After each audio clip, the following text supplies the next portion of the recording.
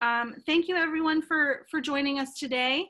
Um, this is the webinar for Halt Mariner Now. Um, are you in the blast zone? And um, we're coming to you with the assistance today of Halt the Harm Network.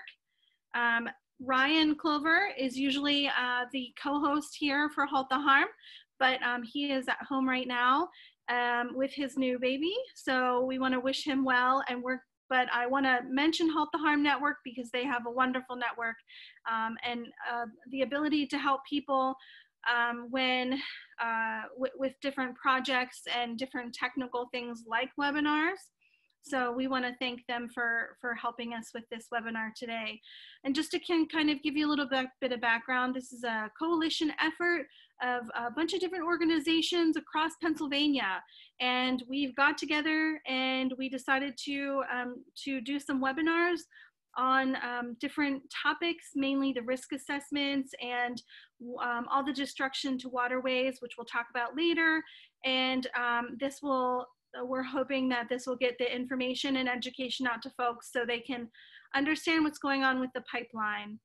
Um, today we'll have um, Ginny Kerslake. She is the founder of West Whiteland Residents for Pipeline Safety, founder in the leadership team of Del Chesco United Pipeline Safety. She's a mother, she's an earth scientist, um, artisan, entrepreneur, and community leader. Um, and then we have George Alexander. He's part of the leadership team for Del Chesco United for pipeline safety. He also runs a blog, Dragonpipe Diaries. And I'm Gillian Graber. I'm the executive product, um, director of Protect PT, Protect Penn Trafford. Uh, we have the, the Mariner East coming through Westmoreland County, coming through our, our community, and uh, we're joining forces with um, other folks across the state to bring you this campaign uh, and this educational presentation today. So first though, we're gonna have Ginny. Uh, she's gonna be presenting on the nuts and bolts of Mariner East, uh, how Mariner is regulated, eminent domain, uh, public utility um, for formal complaints. And um, so go ahead, Ginny, take it away from here. Hi, everyone. Um, thanks for being here, first of all. And um, this is the first time I've participated in a webinar as a panelist. So here we go. Um, let's get right down to the basics. Mariner East is a pipeline project by Sunoco and Energy Transfer. Um, you may be familiar with the name Energy Transfer from the Dakota Access Pipeline um, and the Revolution Pipeline. It's the same company. So Mariner East consists of three pipelines. There's Mariner East 1, which is a repurposed pipeline, an eight inch pipeline that was put in the ground in the 1930s. Um, and the flow was reversed and they put a new product through it, the natural gas liquids, and put that into operation at the end of 2014. So it's been flowing basically consistently um, for the past five years almost. And then right now, Sunoco is constructing Mariner East 2 and Mariner East 2X, which are um, 20 inches and 16 inches. And what something that Sunoco did and put into operation the end of last year was what they like to call Mariner East 2, but it's actually not Mariner East 2. We call it the Mariner East 2 workaround or also the Franken pipe. And what it is, is a um, temporarily cobbled together pipeline that's constructed with bits and pieces of ME2, ME2X, where they've been in the ground.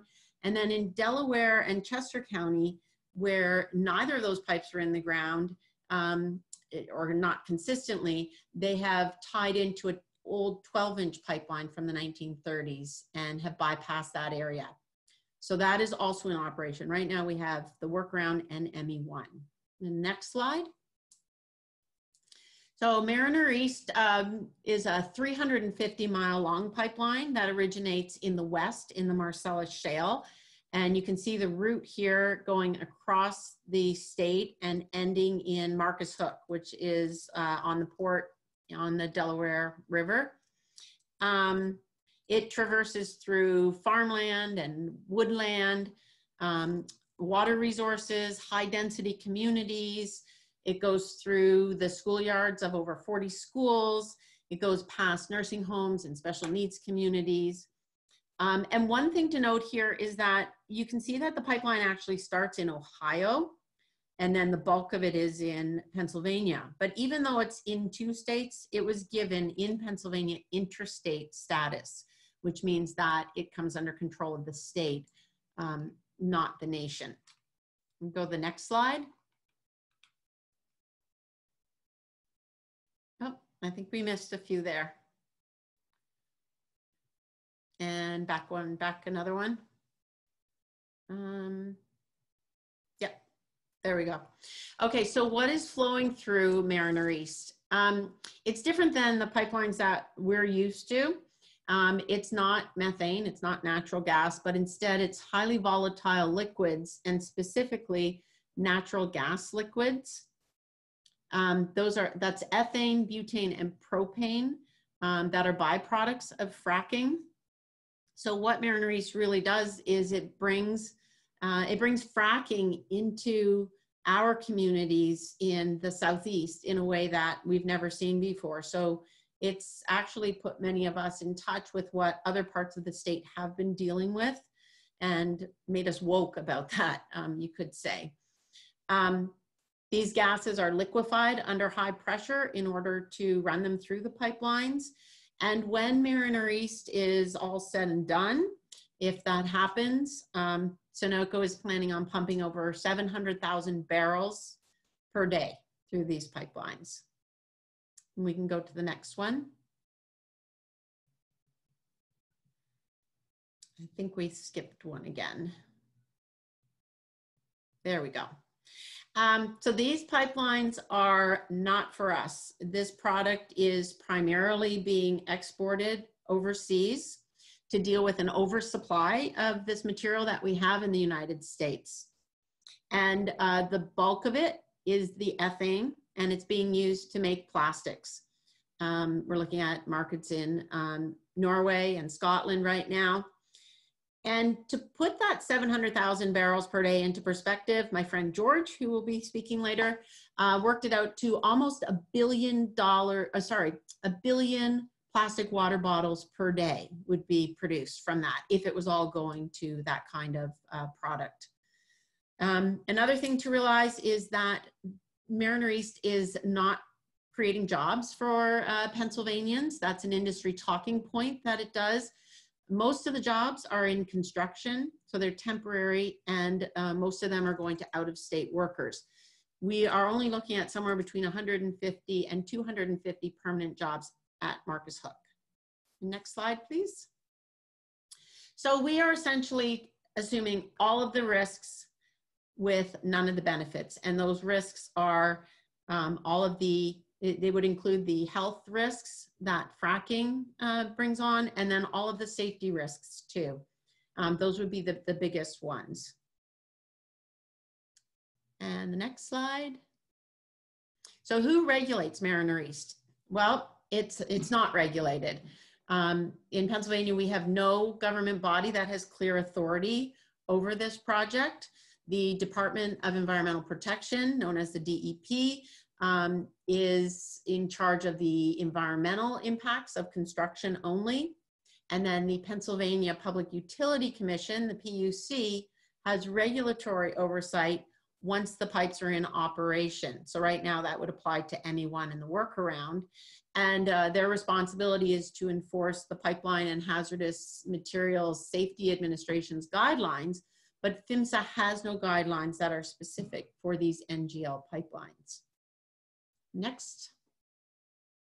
So who approved the siting for this project? Well, again, no one. Uh, Pennsylvania is the only state in the United States that has no siting authority for pipeline routing. The formal approval of the route was done by nobody. The DEP was only concerned with issuing its environmental permits. The PUC granted Sunoco public utility status um, and that's an important thing that we'll get to in the next slide. Sunoco um, has the ability to put Mariner East wherever it pleases. Next. Um, we, okay, so what that means is wherever it pleases looks something like this. Um, Mariner East can run right past high density housing. Here's some apartment buildings in my township Next. Go right past seniors living. This is in East Goshen Township. Some of you will recognize this as the Wellington, which is a very large senior living community. And there you can see Mariner East right in front of it. Next. These pipelines are going right through backyards, right past children's play sets. I, I don't think there's anything, any image more powerful than that one. Next. Um, so because Sunoco has been granted public utility status for this project, uh, that means they also have eminent domain. And what eminent domain does, it allows a corporation to seize property from you. So we don't, as Pennsylvanians, citizens, we do not have the right to say no to this project. If we don't sign easements for our property, um, Sunoco can come and put Mariner East across it anyway. Typically, public utility status is reserved for things that are good for, for the public, things for the common good, things that are necessities for our society. Well, as I've explained in the previous slides, this is not even for us, it's for export. Um, so it really is an abuse of eminent domain.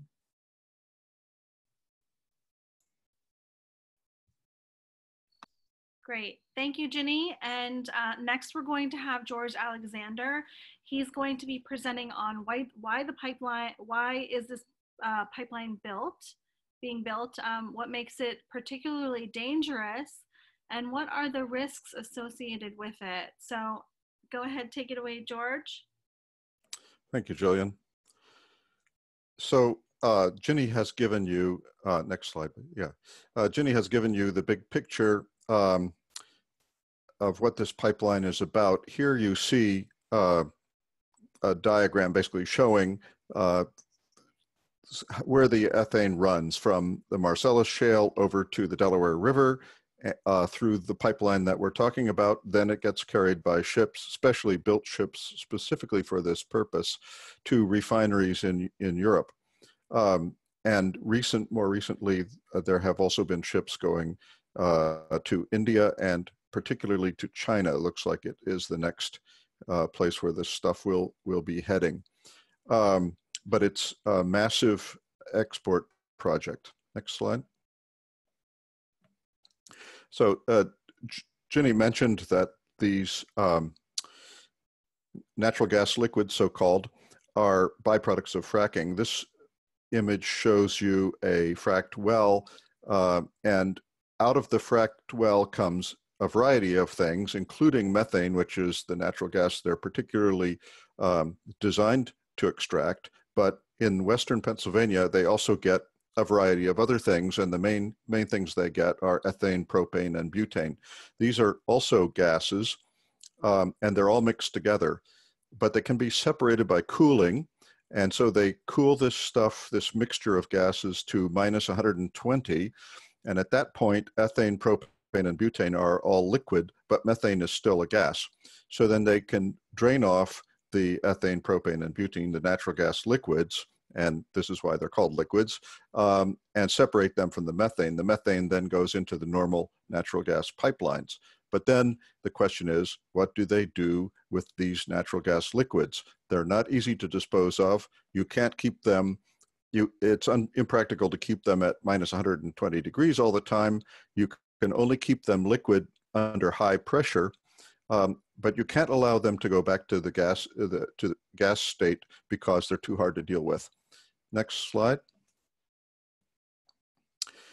Um, and these gases are not like ordinary natural gas because uh, ordinary natural gas uh, will rise and disperse.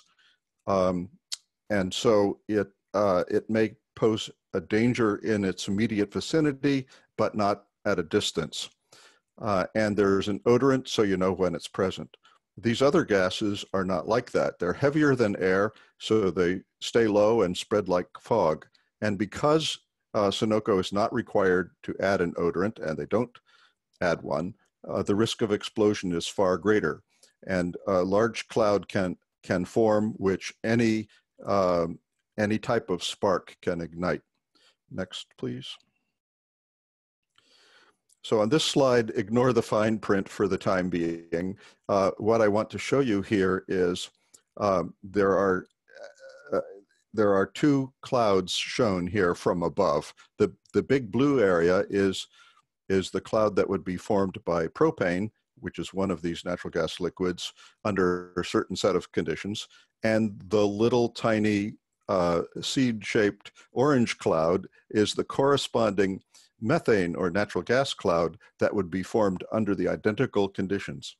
And basically these clouds show the boundary uh, within which if the cloud is ignited, you're likely to be killed. So what this is showing, and this is true for propane, ethane, and butane, is that the clouds that they form can be dozens of times larger than the, the, than the corresponding cloud of natural gas. We all know about the hazards of natural gas, but not that many people know about what these natural gas liquids carry in terms of risk. Next, please. And in addition uh, to the lack of odorant, there is no other way of uh, reliably detecting a leak.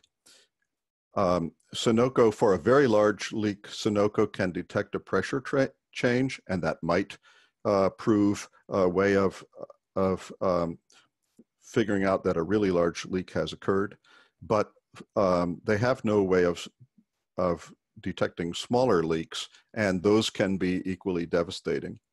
And if a leak were to be discovered, um, it's up to you to get out of there. First responders uh, have been trained to establish a perimeter to keep people out but they are not allowed to go in. So assuming you get a warning and you know that there is a, a flammable cloud of these gases forming, um, then it's up to you to leave the area. You have to do it on foot because um, if you use a car, that's an ignition source. If you ring a doorbell, that's an ignition source. Uh, uh, if you turn on a light, that's an ignition ignition source. Even a cell phone may be an ignition source. So uh, basically, you're left with the um, task of determining that you're in one of these clouds. You're supposed to, to uh, travel half a mile uphill and upwind um, while avoiding all ignition sources. It's just not a credible plan. Next, please. So uh, this stuff really is explosive. There haven't been very many, fortunately, there haven't been very many incidents where one of these pipelines has actually exploded. And that's because they're still very rare and there are none that run through as populated a state as Pennsylvania is. Um, the upper picture here shows an explosion in Texas almost 25 years ago in a, a ranching area, a rural area several square miles were uh, burned in this explosion. Uh, three people killed, 21 injured. And um, the lower picture is more like what we might expect in parts of Pennsylvania. This is a picture of a San Bruno, California fire, but this was natural gas. If it had been um, natural gas liquids, it could have been far worse than what you see in that photo. And um, some of you may remember a few years ago, there was an explosion in another rural area near, nearer to us, Follansbee, West Virginia, uh, which took out, again, several square miles, but fortunately, uh, no one was in the area at the time, although the siding was melted off the side of the nearest house. That's the kind of thing that could happen in, in our area. That's what uh, keeps me worried at night. Uh, next slide. Um, here's another case uh, closer to home of a natural gas accident. This was uh, April of 2016. Um, and uh, it was very fortunate that no one was killed here. Again, not a densely populated area, uh, but uh, these things are so explosive that um, it you have to be a long way away in order to uh, avoid fatalities. Um, some of you will remember last fall in Beaver County, a different Sunoco pipe, pipeline exploded after only a week in operation um, and burnt down the nearest house. Um, no one was killed in that one either, but that was pure luck. Next, please. So how uh, risky are these things? I, I've given you some intuitive idea of that, I hope, but there have been two formal uh, risk assessments done. Um, both of them, the results were both um, released in uh, 2018. The first one was uh, launched by State Senator Andy Dinniman um, and uh, funded by a GoFundMe uh, project. And it showed that uh, you could be killed within uh, a distance of more than 2,000 feet from the pipeline. The Delaware County Council then commissioned a, a somewhat different one from a different group, um, and using different software, they showed uh, a significantly greater range of potential fatality up to uh, a mile and a third. Um, so uh, next slide, please. So what these uh, two risk assessments showed was basically statistically what the individual risk is of for a person at a distance from this pipeline. And that's what you call individual risk. And it's the kind of thing you might consider if you were thinking of buying a house at a given distance from the pipeline. But it only assesses one person's risk. Uh, more important from my perspective is societal risk. This is uh, the, the risk that you run if there is a gathering of people that's relatively close to the pipeline, um, each of whom has that same individual risk, but as a group, they have a huge risk. Um, that has not been assessed, but that uh, applies to places such as schools, libraries, nursing homes, and so forth. Um, and um, a very important type of risk that is harder to quantify because of the uh, need to characterize the demographics of where everybody moves around, but um, critical. And then the third one, worst case risk is, well, suppose you had the worst possible rupture in the worst possible location. What would happen then? That's the risk that emergency management needs to be prepared for. That's uh, where the planning of the first responders needs to come in. And no one has been focused on that worst case risk. Um, Sunoco will tell you these worst cases are um, extremely unlikely. And I, that is true. I, I accept that. But on the other hand, disasters are almost always extremely unlikely. We have to be ready for such a thing. And as I say, only individual risk has been assessed so far. And I would also mention that these risk assessments that I'm talking about here are strictly related to the risk of uh, pipeline leak locally. They don't address the risks that people on the fracking end of the process experience. So part of the risk associated with a pipeline is the risk uh, it causes to the people who with whom the gas originates, and that's another important piece of this uh, risk assessment that has not been done. Next, please. So the route, where does it go? It goes strikingly close to a lot of built up places. Here you see the area just south of Pittsburgh, and the black line is the pipeline, and the uh, darker purplish areas are the areas of dense population. You can easily see that the route of this pipeline is not designed to avoid populated areas, and it's easy to understand why. This was originally a pipeline that was designed to carry fuel oil and gasoline from refineries in the Philadelphia area to the west. And then it made sense for that to go near populated areas because that's where the markets are. But when you reverse that and put these uh, natural gas liquids from, fra- uh, from, fracking through the same pipeline, uh, you are running an unnecessary risk because that pipeline goes through so many populated areas. Next map, please. So here's the, in the uh, mountainous part of the state um, where the pipeline route goes. And although it's far less populated than the Pittsburgh area, you can still see that it goes quite close to a lot of areas of population. So there are very, very few uh, places along this pipeline where a serious leak would not be expected to cause fatalities. Next map. Here's the area around Pittsburgh, and you can see that it goes quite close to uh, Pittsburgh and in between um, various other population centers in the middle or the eastern, the middle eastern part of the state. Um, there are a lot of uh, people at risk in these areas. Uh, next map. And here is the southeastern Pennsylvania in the outskirts of Philadelphia. And in the lower uh, part of this map, you can see uh, that, that in Chester and Delaware County, this pipeline goes right through the center of some of the most populated areas.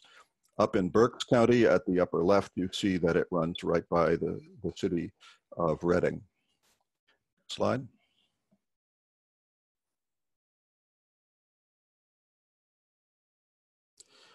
So here's an example of uh, what that flammable cloud that I was talking about uh, from those risk assessments might look like if there were a rupture uh, adjacent to Mechanicsburg. Mechanicsburg is just uh, west of of, of uh, Harrisburg. And uh, you can see this is a, a cloud extending a little over a mile into Mechanicsburg. And if it would extend to this size within uh, about five minutes from a rupture. And uh, then if it encountered a source of ignition, every, uh, that whole area would be on fire. And everyone who was outdoors in that area would be killed. Many of the people indoors would be killed as well. Um, it would be difficult for first responders to get in. And how would they even decide where to go uh, and who to rescue? Uh, it's, you know, it's almost inconceivable, this type of accident, and yet it's what this pipeline threatens. Next slide.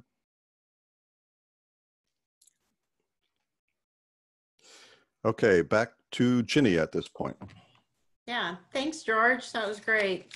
Um, so I'm going to quickly go over some cases that are before the PUC right now. Um, first one is uh, the Safety 7 case. Um, Safety 7 is seven residents from Delaware and Chester County, and they filed a formal complaint with the PUC um, essentially about the, lake, the lack of credible emergency plans and other safety concerns. That's why we call Safety 7. Um, the PUC has consolidated several other cases with that, um, but from other residences. So it's kind of a monster complaint right now and a number of townships, counties, and school districts and residents have intervened. I'm one of the interveners on that myself. Um, a hearing is not scheduled until next summer, summer of 2020. But in October of this year, um, October 23rd and 24th, there is a hearing um, in West Chester to take lay witness testimony. Um, another case is the Public Utility Commission's own Bureau of Investigation and Enforcement. This uh, complaint comes from their investigation into the 2017 Morgantown leak on uh, Mariner East 1. And they determined in their investigation that um, that was caused by, that leak was caused by corrosion. And they also found that Sunoco had failed to follow their pipeline integrity management program. So they filed this complaint. Um, they expressed in their complaint a concern for corrosion all along Mariner East 1 throughout the state and the need to do an end of life study. Uh, that's an end of life for the pipeline, not lives. Um, and they, um, the PUC's Bureau of Investigation, Investigation and Enforcement actually settled this complaint um, with Sunoco.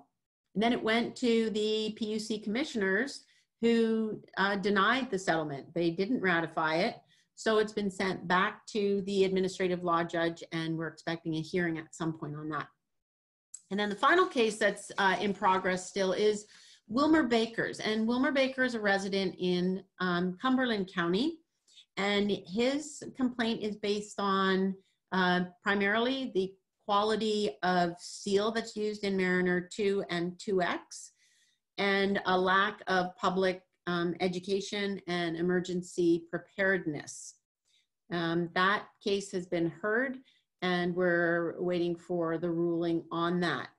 Um, one side note on that is I, I, attended that hearing and I sat in the hearing room for two days and um, Wilmer is representing himself, and he had to go up against an army of lawyers from Sunoco. And it was really just a clear example of how broken our system is. In order for a citizen to have their uh, safety concerns um, addressed, they actually have to bring them before a judge. And um, that's how things are right now in Pennsylvania. And the system seems to, um, by design, work in favor of the oil and gas industry and not us. Um, if you would like to follow any of these cases or stay abreast of, of new ones, um, I put a link here um, for uh, where you can search and you just use the docket number. I include, included the docket number for these three cases. Um, one other small note is that the Safety 7 case um, is raising funds to pay for their expert witness and court costs. And um, I included a website um, for that GoFundMe.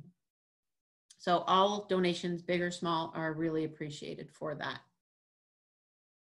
Next slide. Great. Gillian. Thank you, Ginny. Uh, thank you, George. So you might be asking yourself, well, you know, this maybe this goes through my community, maybe this doesn't, maybe I'm going to be in the blast zone, even though I'm several miles from the actual pipeline. Uh, and what can I do? So the first thing you can do is stay informed and educated through our website. So haltmarinernow.org and then uh, George's blog, Dragon Pipeline Diary. Um, tomorrow, we're actually going to have what's called a thunderclap. And just to kind of give you a brief overview, that that's where you go onto social media, primarily Twitter.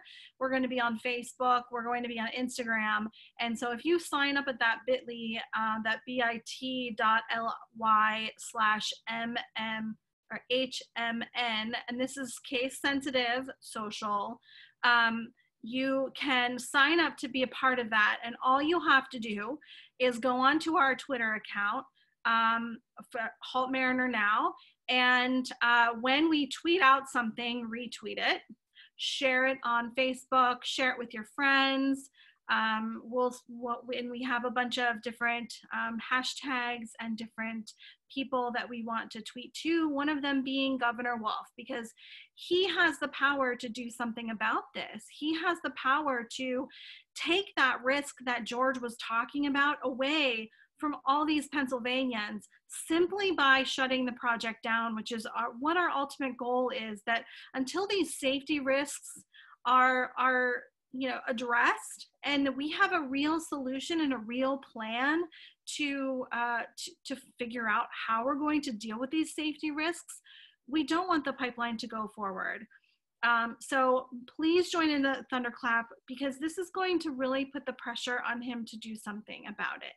We're also asking people that if you have pictures, uh, there's been a lot of destruction about with the building of this pipeline. So if you have pictures of that uh, that you want to share with us, just email them to info at haltmarinernow.org uh, and join in our Thunderclap tomorrow simply by going on that link.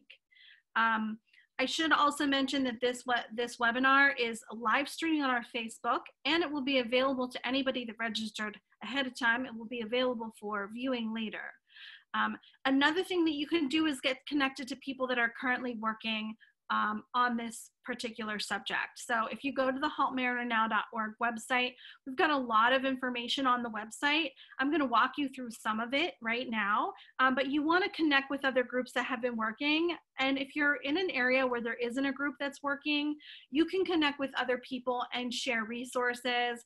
We're going to have a lot of different resources that you can share in order to inform people in your community and do something about um, mishaps and, and things that are happening. So we always say, um, see something, say something. Um, and we have a document on our website called um, How to Document and Report Problems with Mariner East Pipelines. And it gives you all the information you need to know uh, in order to document and report those, those um, conditions to the, um, the oversight uh, that that does uh, somewhat exist with you know these different um, these different agencies across the state because uh, you know like Ginny was saying one one agency may have a little bit of of um, oversight here. Another agency has a little bit of oversight there, but nobody's really paying attention to the project at whole. So it's important to um, to know who to contact when you have an issue and um, make sure you're you're reporting that issue to the right person. Um, so right now I'm going to go over some of our website tools really quick. Um, this these this is directly from our website and give me one second here to maximize. Um, so this is our actual website. Uh, the home is here. Uh, you could have registered for the webinar. You'll be able to register for the next webinar here. You'll be able to join our Thunderclap. Also the risk assessment. Uh, we have our partnering organizations, so other organizations that are partnering together in this coalition. Um, and for some reason it's not working when I click on that. Um, oh, no, I don't know why. Um, and then the risk assessment um, is here as well, the full risk assessment. Uh, and then get connected. And I'm not really sure why it's not coming up here. I apologize for that. Technology is not working very well.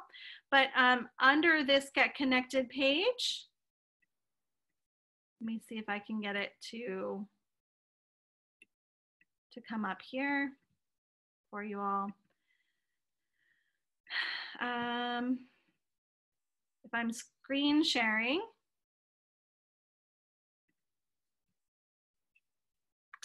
give me one second. Jenny, George, can you see still see my screen? Just chime in if you can. Yes, I can see your screen. All right, it's still not loading. I apologize.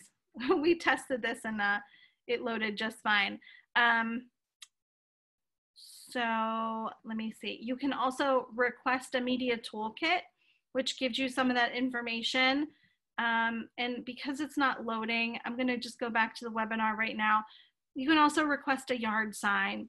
Um, so when you request a yard sign, we, uh, so we have um, we're going to be um, buying these yard signs and we want to distribute them throughout the pipeline area.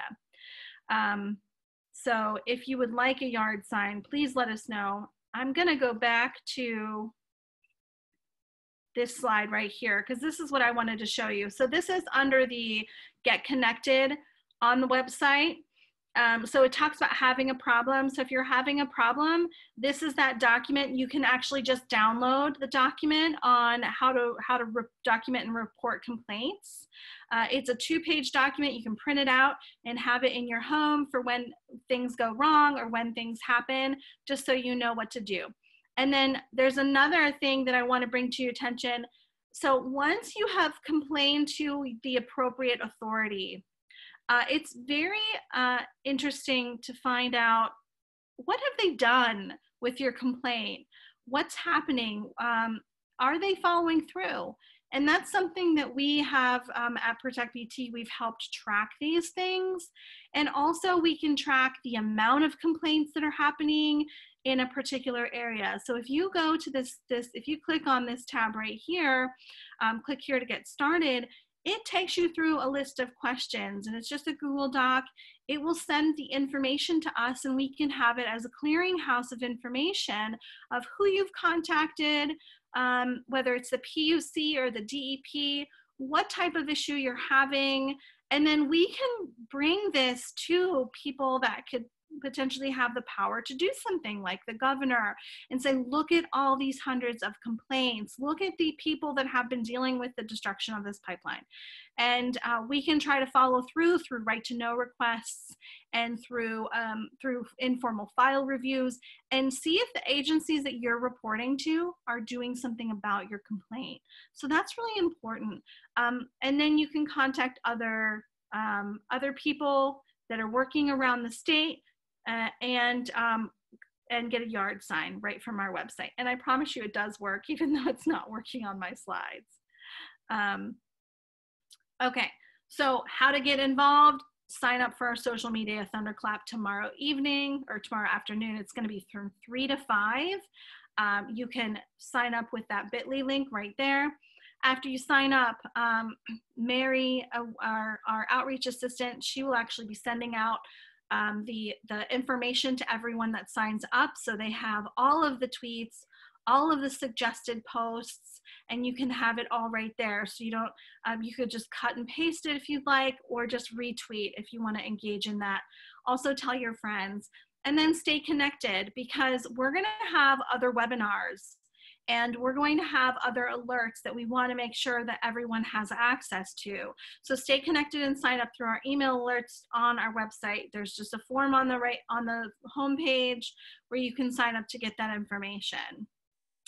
And then Ginny, do you want to take this through? We're right at about 45 minutes. I want to make sure we have time for Q&A yep. real quick. Um, do you want to go through these real quick? Sure, let's go through really quickly. We just threw in some pictures here at the end for to show you some of the things that we're doing here in Chester and Delaware County. Um, we've hold, held a number of rallies. So here's a picture from one of those. Um, sometimes people do an action all by themselves. This is an East Goshen Township supervisor who made this sign and stood on a busy road and um, it got a lot of attention. He stood there during, during rush hour.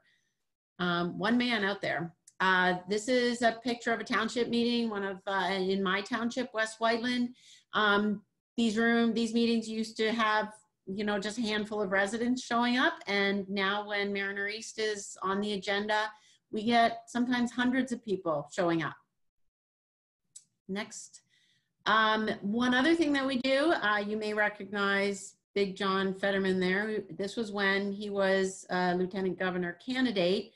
And we often uh, encourage candidates and elected officials um, who are unfamiliar with the pipeline um, to come and meet with residents uh, and community leaders in their backyard so that they can see firsthand how it's impacting us.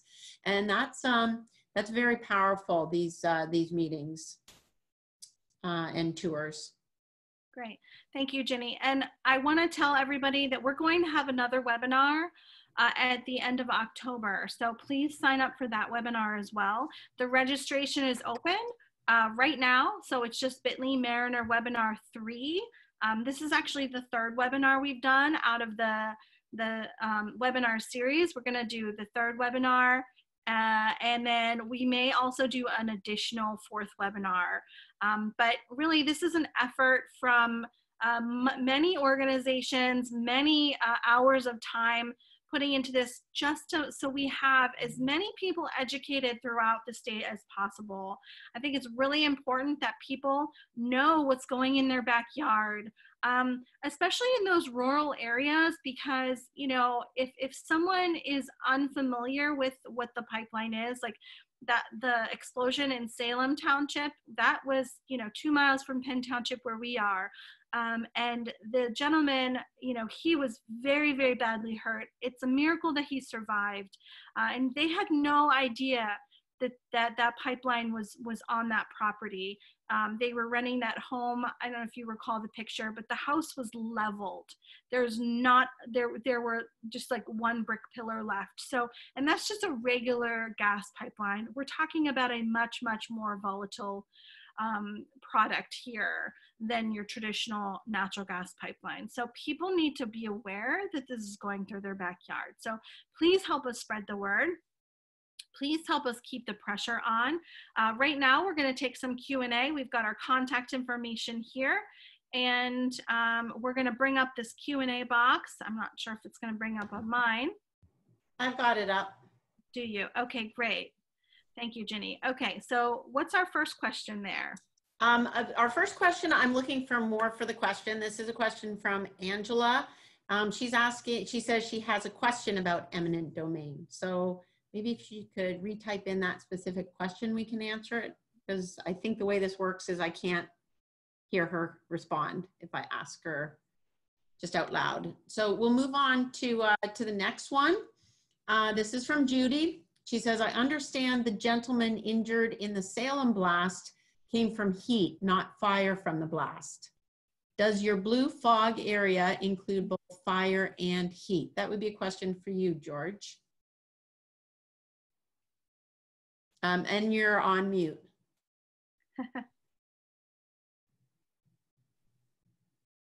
there you go. Um, I think you're still on. George, we can't hear you, just FYI. Maybe it's your headphones? So, so I would have to say while while George is trying to get on, um, it was it was mostly from the heat. Um, and George, are you there? Um, I- think so. Does that sound good? Yes, yes, you're Good. there. Yeah, okay. So yeah, that is this funky headphone thing. Um, so the distinction between um, the the the heat and the fire um, is is a pretty subtle one. In other words, uh, these blasts all involve heat, and they will set things on fire at a distance. Um, to some extent, uh, so if you're in a cloud and it explodes and it does not set anything on fire near you, I suppose you could say you were killed by the heat. It could also be from asphyxiation because the oxygen will be removed from the air. Um, I don't really make that distinction. The, the, the blue outline is the outline of the, of the flammable gas, and uh, that would include uh, in, both fire and, and heat. It, it would also include to some extent what they call concussion, which is the pressure of the blast, um, what people would normally call uh, explosion, although there are uh, various technical um, definitions of that. But, um, but uh, I, yes, the simple answer is yes. Every, uh, all those things are included in the blue outline that I showed both in that first diagram and in the diagram about Mechanicsburg. Great. Okay. Okay, um, next question is, was the pipeline in Beaver County that exploded carrying methane or NGLs? Um, It was it was carrying a mixture. So this was uh, you you saw the pic- picture of how the those things are separated by cold. Uh, that had not happened yet with the gas in Mhm. that pipeline, so it was a mixture. it's, it was, it's basically a gathering line, is that right, George? That's right. Okay. All right, um, I will send that one. Um, okay, this is a que- a technical question from Lois. She would like a copy of the PowerPoint. We have family in Mechanicsburg, all in the blast zone, and she needs to educate them. Gillian, that one's for you. Yeah, so we will have a copy of the PowerPoint available. Um, I have to work out the details about if this recording will be available on the Halt the Harm website for the long term. Normally, when Halt the Harm hosts websites, uh, they have them avail, or oh, I'm sorry, when they host webinars, they have them available on our website. I hope that they're able to do that with this one, even though um, they're not able to be here today. Um, but but yes, and then if you want to contact Halt the Harm, um, you can go to halttheharm.net or you can go to Ryan at halttheharm.net. Uh, and you can become a leader if you so halt the harm network it has such unique services where they offer email services and, and kind of like technical services to um, organizing groups uh, and and it's a really they have a great way of doing this and so I really encourage you to go online and see what they do. They've got tons of webinars. I've been a part of several webinars that they've hosted, and they're all really, really good topics. Like we were talking about um, when we're talking about how to document a complaint, uh, doing a right to know request or file review, we have a webinar already done on that, and you can go back and, and look at that webinar. Some wonderful webinars on there. Um, so yes, will be a copy um, available and we're recording this. So there will be a recording of the webinar available. You can share with folks as well, Lois. Um, and then um, Ray asks, what uh, is Mr. Fetterman's position on the pipeline? That's a good question. Gillian, can I just, can I jump in one thing? So the PowerPoint will be available at the haltmarinernow.org. Yeah, so we can actually, we can make it available at the haltmarinernow.org website. We can put it on the website uh, tomorrow morning. And uh, we'll also have a recording. So we'll have a, an actual recording of the wonderful presenters presenting the information um, via recording. So, um, and that will be either on the Halt the Harm website or Halt Mariner Now website as well. Okay. Um, so back to Ray's question about Mr. Fetterman's position. Who wants to tackle that? There's a bit of nuance to it. George, were you um, were you present for his tour? I wasn't there, but my understanding is that uh, he expressed um, sympathy and opposition to the pipeline, but uh, that that really hasn't translated into anything in his current position. Is that your understanding, Virginia? That's my understanding. I believe it was something like it was a game changer for him to have that experience, but unfortunately, it didn't change his game enough. Um, we're not really we're not seeing any action from him or Governor Wolf on this. So yeah, and in our neck of the woods, you know, um, you know, he, there there's actually um, in his hometown of uh, Braddock, there is Mhm. a new fracking well site that's proposed at the steel mill. And when it came to town, or when when it was being proposed, he was very excited about it. And we were just warning that you know not only um, do, do, does fracking uh, allow for these pipelines to be built because if there was no fracking, if there was no product, there'd be no pipeline to put it in. Um, but then also um, the fracking, the health concerns of uh, folks that are dealing with fracking, uh, that is multiplied by the health concerns of the folks down there at the steel mill because um, there there are multiple industrial sources of pollution in one place. Um, so we really, you know, uh, that we know that this extraction of natural gases and natural gas liquids is um, is is not a picnic for the people that live near those fracking sites. And so this pipeline is literally connecting us here in Pennsylvania, connecting the entire state with risk. Um, which is why we're doing the webinar, which is why we felt compelled to do the the you know the uh, campaign itself because we want people to know what's going on. Um, so, are there any other questions before we get off, or any comments you guys want to make? I have um, there's a couple more coming through on chat. If you want me to grab them quickly. Sure. Yeah. Um, so Lois, do, do, do, uh, okay, uh, Lois Peterson says, how weak or strong is Governor Wolf on stopping this pipeline? Um, I could jump in on that. Please. Governor Wolf, Governor Wolf is uh, is weak on it. Let's just say that. Um, we have asked him a number of times to use his authority to halt this uh, pipeline for safety concerns. Um, we have no way to protect the public, and he has an obligation um, to do to uh, to halt it until we have uh, until we have a plan like that. Um, he came to Chester County a few weeks ago, finally, and um, said, you know, after hearing people's stories about what they're dealing with, what their concerns are, um, he said point blank there that uh, no, he will not halt it. So, um, and uh, he's been very supportive of this project all along. And um, we'll just keep on asking him, um, demanding that he exercises power. Do you want to So- read this one from Ellen here, um, Virginia? Yeah, I will add something that Nancy has just commented that despite saying he won't stop it, Wolf does not, Governor Wolf has not denied the risks and the issues that we've raised. Um, sorry, we have another question in here. Yeah. So From Ellen. yeah. Uh, for, oh, from Ellen Gerhardt. All right. Um, Ellen asks, Huntingdon County Emergency Management is having a public meeting on October 3rd for public input on upgrading their emergency response. During the last conversations I had with the director, he stated that emergency plans for pipeline evacuation were proprietary.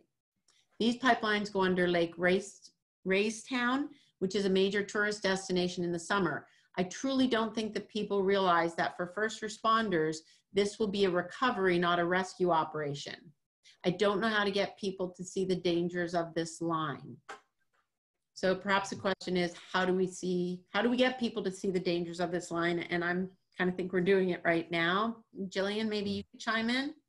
Yeah, I think that that's a really um, important thing. Just share the information that we have provided about the risk assessments. And then um, I- think it's really important to share it with first responders because, um, you know, first responders are people in your community that are just trying to do a job and many of our first responders are volunteers and they're not getting paid to come out and you know help evacuate people in this very dangerous situation so we Mhm. really have to um, you know to push for um, the the this um, emergency management um, situation and and please attend the meeting on october 3rd and i have to give it out to the the gerhardts um, i just read Mhm. something on um, on their Facebook today about a case.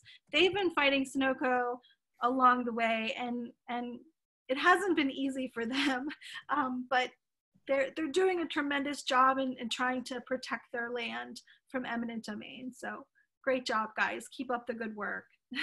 Yes, thank you. There is one more uh, question here from Bill. He asks, is there any comparable pipeline that already exists? If so, what happened? Uh, there's a long answer to that, but let me just uh, answer briefly with two things. There are 14 what are called transmission lines in the United States for this type of material. None of them runs through any comparably populated area. They're mostly in Texas but there are some running down through the Midwest.